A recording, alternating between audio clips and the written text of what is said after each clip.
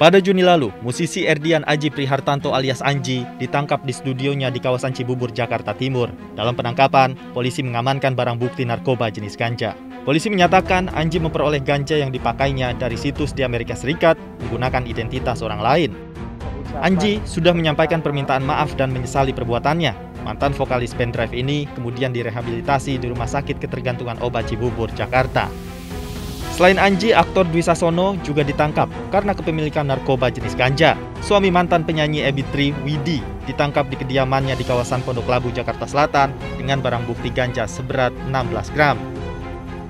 Dwi Sasono direhabilitasi di Rumah Sakit Ketergantungan Obat Cibubur, Jakarta Timur setelah permohonan asesmen yang diajukan disetujui oleh Badan Narkotika Nasional Kota Jakarta Selatan. Penyanyi top era 90-an Reza Artamevia juga kembali terjerat narkoba Reza ditangkap di sebuah restoran di Jatinegara, Jakarta Timur pada 4 September 2020. Polisi menyita 0,78 gram sabu. Reza pernah terjerat narkoba pada tahun 2016 di Lombok, Nusa Tenggara Barat.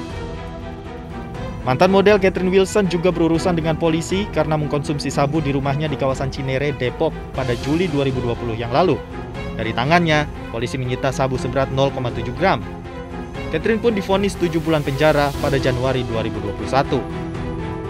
Nama selebriti yang tertangkap kasus narkoba semakin panjang. Di Tenggarai, mereka memakai narkoba karena tuntutan kerja yang tinggi dan gaya hidup.